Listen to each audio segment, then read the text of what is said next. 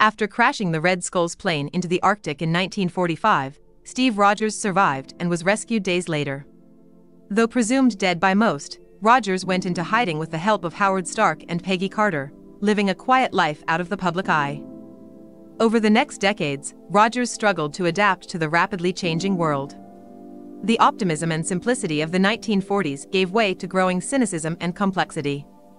Rogers found solace in his old war friends like the now married Stark and Carter, but had trouble connecting with the younger generation.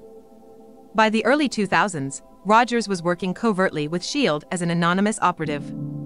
But when the Avengers Initiative was launched to combat growing threats, Nick Fury turned to the legendary World War II hero to lead the team.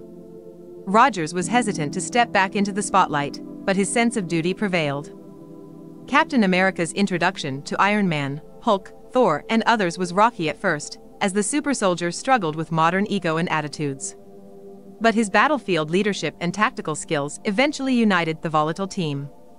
Rogers' old fashioned idealism and courage allowed him to become the moral compass that grounded the Avengers. Rogers continued to lead the Avengers through successive threats over the next decade. All while quietly adapting to modern romance and pop culture during his downtime with help from new friends. Rogers mellowed in his views on authority and gained an appreciation for a more complex modern world.